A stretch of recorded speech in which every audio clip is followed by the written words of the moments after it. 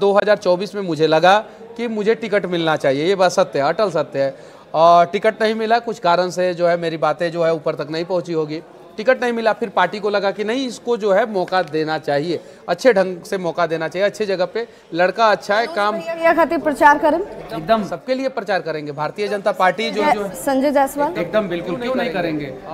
उन्होंने मेरे लिए प्रेस कॉन्फ्रेंस किया मुझे उम्मीद नहीं था। यही भारतीय जनता पार्टी का एक खूबसूरती है। आप देखिए कन्हैया कुमार और संदीप दीक्षित आपस में ही लड़ रहे हैं दिल्ली में। मीडिया में सारा इंटरव्यू इंटरव्यू वीडियो वीडियो सब कुछ है। आपस में ही मतलब कि अगर बीच में कार्यकर्ता नहीं रोके तो फाइटम फाइटी सब चालू हो जाए। लेकिन संजय जायसवाल जी मेरे लिए मेरे से बात किए बिना जो है मेरे लिए बेतिया में प्रेस कॉन्फ्रेंस किए विजय सिन्हा जी पटना में प्रेस कॉन्फ्रेंस किए बहुत सारे नेता जो है मेरे बारे में लिखे। तो जब संजय जायसवाल जी मेरे लिए दिल बड़ा किया वो बड़े भाई दो नाम दो नाम विभाने लिए संजय जायसवाल मनोज तिवारी। गुंजन सिंह के क्या हुई? देखिए गुंजन सिंह जी का जो भी होगा अच्छा होगा और वो हम लोगों के साथ आएँगे और हम लोग बेसहारा कर दिया नहीं बेसहारा तो उनको कभी नहीं छोड़ूँगा। तो आपको देखा देखिए आपके प्रचार के बलबूते आपके नाम को लेकर के जितने नहीं आ, वो मेरे से खड़ा हो रहे सुनिए मेरे से पहले से उनका प्लानिंग था चुनाव लड़ना। आप जाके देखिएगा मैं जेल में था उसके पहले से उनका प्लानिंग था। मैं जेल के अंदर था उसके पहले से उनका प्लानिंग था। मैंने अपना धर्म निभाया। अब रिज़ल्ट मैं, मैंने रिज़ल्ट, रिज़ल्ट तो रिज़ल्ट तो अब ईवीएम में बंद है। रिज़ल्ट जो आएगा वो आप सभी दिखाएँगे अपने चैनल पे जो है एकदम सबसे पहले जो है न्यूज़ एटीन इंडिया पे। चुनौती है मनोज तिवारी के लिए आपको लगता है? कन्हैया कुमार चुनाव नहीं हो सकते हैं मनोज तिवारी के लिए। मनोज तिवारी पिछली बार तीन लाख नब्बे हज़ार वोट से जीते थे और उसके पहले जो है उन्होंने शीला दीक्षित को हराया है वहाँ पे।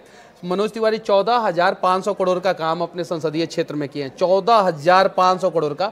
और पूरे दिल्ली में जो सात सांसद थे, उसमें सबसे ज़्यादा पब्लिक से मिलने वाले मनोज तिवारी। ये बात सत्य है।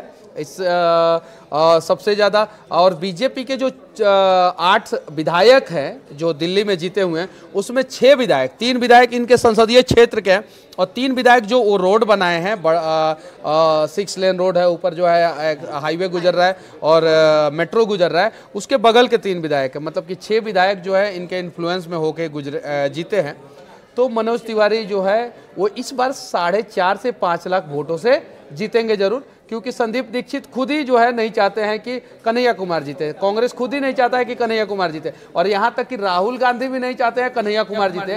और कमाल की बात है तेजस्वी यादव भी नहीं चाहते हैं कन्हैया कुमार जीते। तो कैसे जीतेंगे कन्हैया कुमार तेजस्वी पे आ गया तो तेजस्वी से सवाल पूछना बनता है। हम तो यूट्यूबर सवाल भी नहीं कर रहे सवाल कर रहे। हैं बीजेपी नेता से हम सवाल कर रहे हैं। हाँ बिल्कुल। और आपने नाम ले लिया दो कमिटमेंट की बात कर ली। आपने सारी चीज़ों को इस तरीके से आप तो बिल्कुल पके मंजे हुए खिलाड़ी के तौर पर पॉलिटिकल खिलाड़ी के तौर पर आज बात कर। मुझे लग ही नहीं रहा है कि इससे पहले करीबन एक दो महीने पहले जब आपसे हमारी मुलाकात हुई तो आप वही मनीष कश्यप हैं जो आज हैं। तो आज आज त्रिपुरारी कुमार तिवारी हमारे साथ बैठे हैं। ये कहना सही रहेगा ना?